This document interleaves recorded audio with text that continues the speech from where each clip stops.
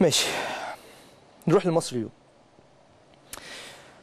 والتعليق برضه على جزئية الاستبدال وإن الأهلي بيرفض ال- ال- الاستبدال الأفريقي ويتمسك بتكافؤ الفرص. وده بعد طبعا تصريحات الكابتن سيد عبد الحفيظ.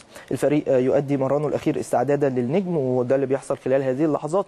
وفايلر يناور بورقة بادجي ومش واضح طبعا لحد خالص.